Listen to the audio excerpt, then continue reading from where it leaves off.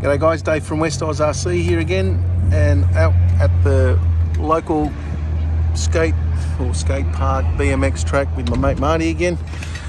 I've taken the Kraton out and I've replaced the RPM arms. As you guys remember, the last one, the arms popped out the back, so the brand new. I'm also trying out the new Ackerman arm from M2C Racing it's right in there. The last one bent pretty badly. Um, and I can hear Marty's Nero. Have a look at this, guys. This is awesome. Maiden voyage, never been used. Maiden run. This is a nostalgic machine, hey Marty? Oh, yeah. One that is uh, quite controversial. I'm sure you all know what we're talking about. Um, can't wait to see this run. Let's have a look.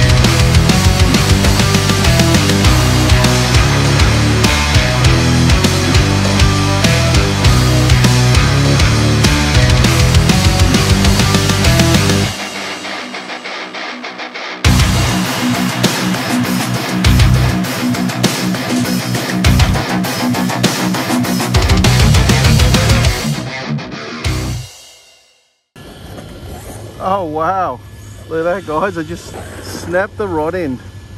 Wow, look at that, gee whiz. On that one there, dang. All right, well, at least it didn't break on that. All right guys, I have to put a uh, standard um, shock in there because it just died. So um, see how this holds up.